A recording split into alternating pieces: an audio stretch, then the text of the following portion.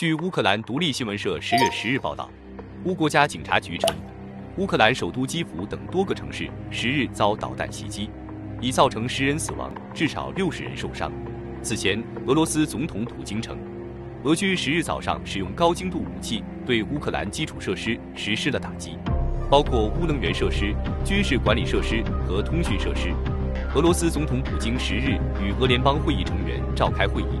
据塔斯社最新报道，普京当天在会议上称，如果乌方继续在俄领土实施恐袭，俄方将做出强硬回应。报道称，普京还要求俄防长绍伊古向俄联邦安全会议汇报俄军袭击乌设施相关情况。